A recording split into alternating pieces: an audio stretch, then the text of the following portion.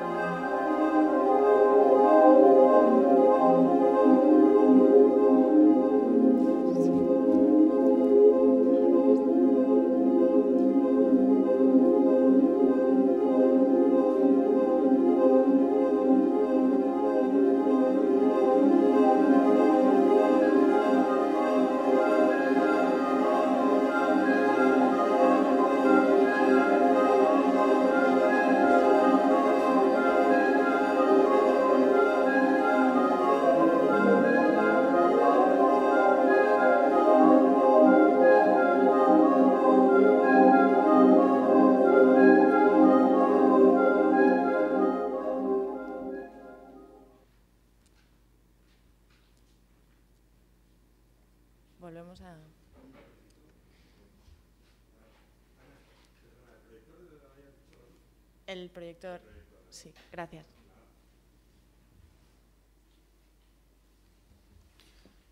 Uh, good afternoon, everyone.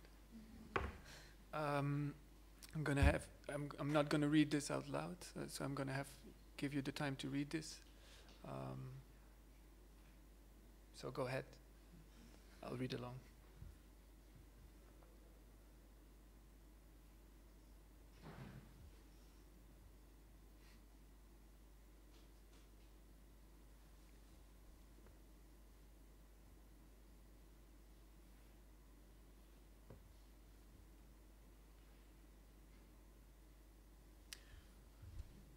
Okay. Um, is this on? Yeah. Okay. This is uh, a part of um, the prelude, uh, page-long poem by William Wordsworth, which was uh, a romantic poet in the 19th century, and which was three years ago already. Now the starting point of my film. Uh, well, one of the starting points, but I wanted to start with this because I'm going to use parts of the text in the film. Um, I have this particular interest in Wordsworth for many reasons, uh, of which I would like to uh, draw attention to only a few uh, today. Um, first, the first thing that uh, I have with Wordsworth, is uh, the fact that he's um, truly a landscape poet. So he's um, the prelude is like a, if you want it's a landscape poem. It's a, it's a description of Wordsworth uh, doing a tour of Europe, basically, and describing uh, his his walk, his uh, impressions. Um, so yes, that that was the starting point. Um, the, the title of the film is, uh, for now, it's a working title, is Trop tôt which has somehow a relation maybe with the prelude, uh, but I, I, will try to go into that uh, a little bit later. So Wordsworth and his landscape. Maybe we can say trop tôt is too soon. Sorry, yeah, too soon, too early. I prefer too early uh, instead of too soon. I don't know how we can go into that, but. Um, uh, this is uh, the the the next uh, what I would like to connect Wordsworth with and I don't know which of the two came first, but this is a view on Brussels, the city I live in, I have been living in for uh, quite some years now. Um, and um, I wanted to to embark on a project that uh, reads actually the landscape of Brussels, um, which is yeah, it's the capital of Belgium, but it's also the capital of Europe. And I, I felt somehow that these two, the trip of Wordsworth uh, through Europe, uh, now a long time ago, uh, could, and, and the combination with its 21st century capital um, could be interesting to, to put together, to combine uh, with these kind of uh, landscape shots. Um,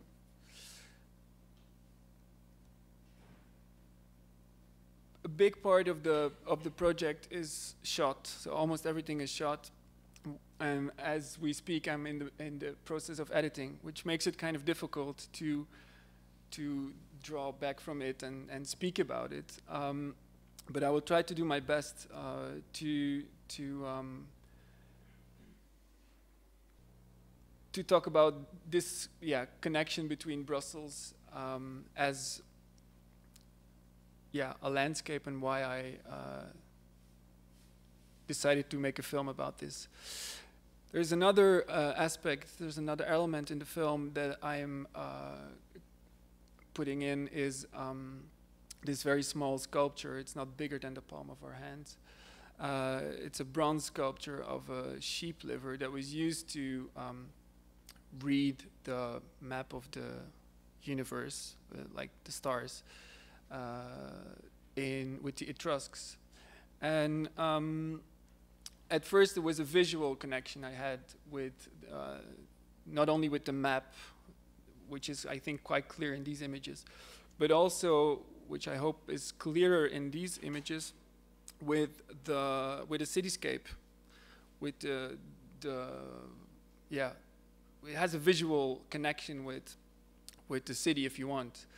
Um, so uh, these three things I decided uh, could uh, be the starting point for me to embark on a on a film project about Brussels, or maybe not so much about Brussels, but about a European city like Brussels, uh, which happens to be uh, its capital. So how am I combining these three things? Um, I am I'm, I'm having the text of Wordsworth, uh, large parts. Uh, I've spent a lot, a, a, lot of recordings of uh, trying to voice this text, which is kind of difficult because it's, yeah, very specific uh, poetry. Um,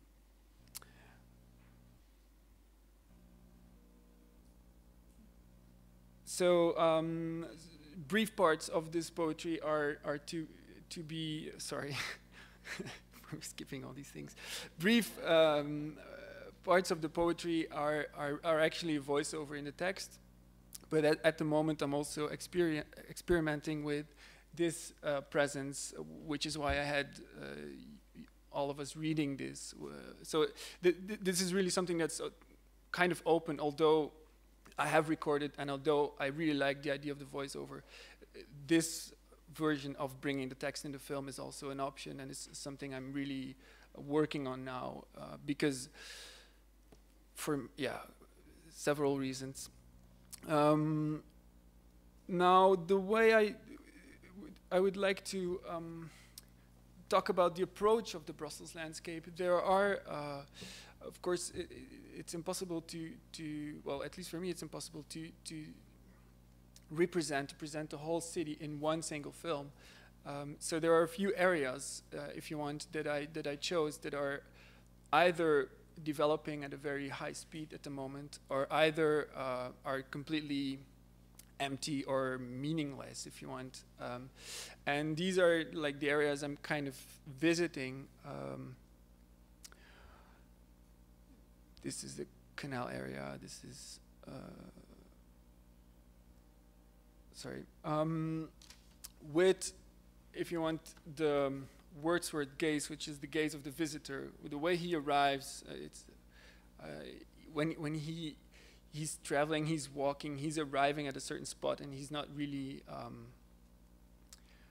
yeah, he's just the visitor, the outsider, the onlooker, and it's that's the kind of gaze that he's uh, encountering this space, or but at the same time he's describing it. Um,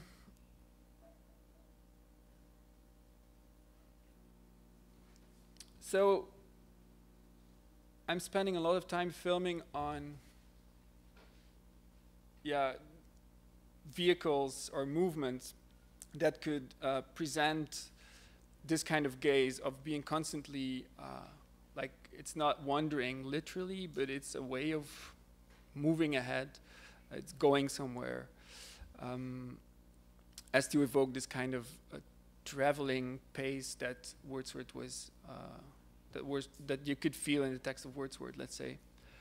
And this is contrasted by uh, sorry, yeah by the views. Like, so there's two different ways of looking at the landscape, which are con constantly um, contrasted, uh, contradicted, if you want, which is the gaze upon the landscape, which is the, the overview, the panorama, and the experience of the landscape, the movement through the landscape, the being in the landscape. Um, voila. So there are various ways, and again, I'm editing now, so maybe this is a sequence that not, that's not necessarily going to make it to the film, but is now very representative for what I've been doing with exploring the space of of uh, of, of the city. Uh, so you have this this constant contrast between the overviews and the more like the experience uh, of the landscape itself.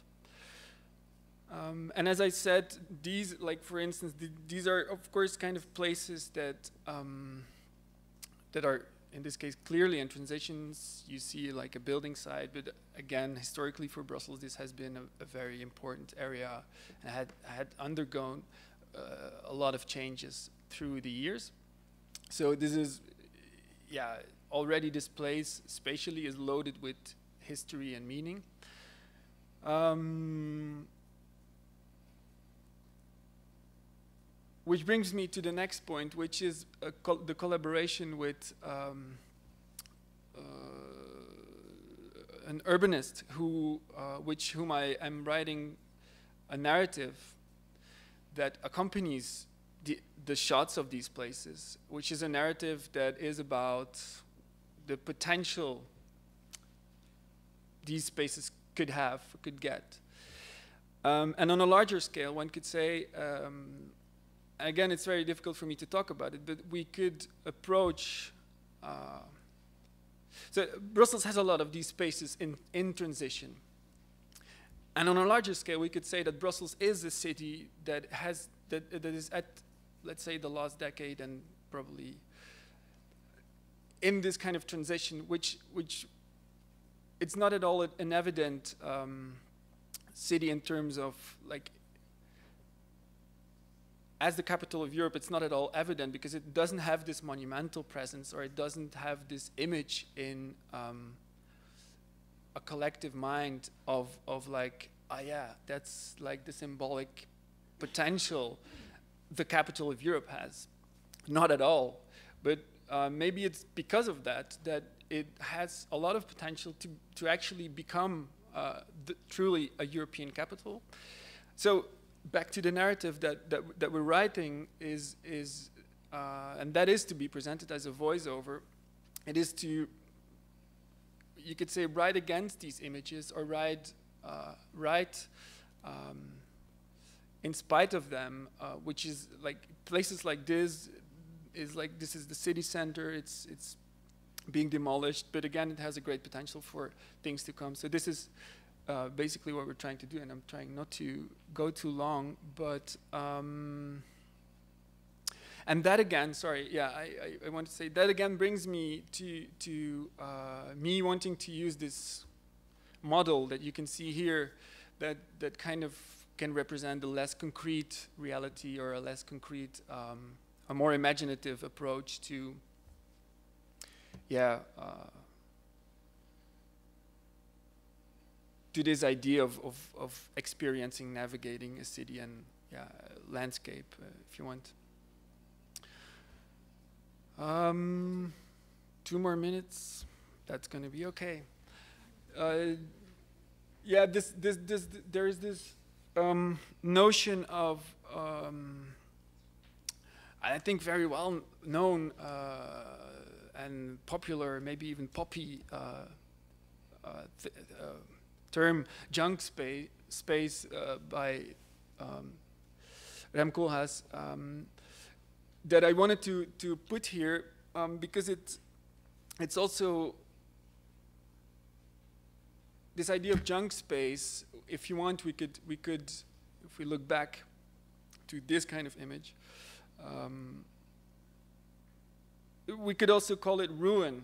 We could also think of a, of a ruin as something in decline, and that again has a lot of potential, clearly. And I think the word junk space in relation to Brussels, not only recently uh, with the uh, with what's sorry what Koolhaas is saying here about the use of junk space. Um, I think junk space has has maybe a yeah the, the relation between Brussels and junk space is not so uh, arbitrary, I would say. Um, time, sorry. Um, and that brings me to, to the, the idea of the ruin, which is something that uh, time, by through time, got demolished. But that is very much connected to the idea of the romantic, which then again is reflected in uh, Wordsworth's text which is something very present. Uh, there is a famous scene in which, um, well, famous Wordsworth is not at all a very sexy poet or very well known, but there's a scene where he arrives at the Bastille uh, just after it was demolished, and he like he picks up a stone and he starts to, just by a piece of brick, starts to reflect upon the fact that this Bastille is not only a concrete building but also a certain ideology is being demolished, and he starts to reflect upon the fact that actually this is this is a beginning. The fact that he picks up the, the debris of the of the building, he says like this is something to start from. So um, so this connection with junk space and the ruin, I thought was somehow uh, relevant uh, because as you can see, there's also a lot of new. Okay, sorry. Um, I just gonna yeah this this is all just several shots. I'm just uh, jumping to the script uh, which I'm writing. As I said, I'm together with an urbanist. This is his name is Joachim Declerck. He runs Architecture Workroom Brussels, which is an experimental think tank for architecture and urbanism in Brussels. Um, he was behind. Um, quite influential book, Brussels, a Manifesto towards, and this word of towards was very important and is very important in our work together now. Towards the capital of Europe. Maybe in the case of the film, we can add a question mark there. Um, so that's just to say that this is the person I'm working with. And there, there's also a soundtrack being made for the film, which is done by um, Nabihah Iqbal, uh, aka Throwing Shade, a London-based um, producer and a radio DJ. And she is also uh, helping me a lot with reading the Wordsworth uh, verses, which is the end. Thank you.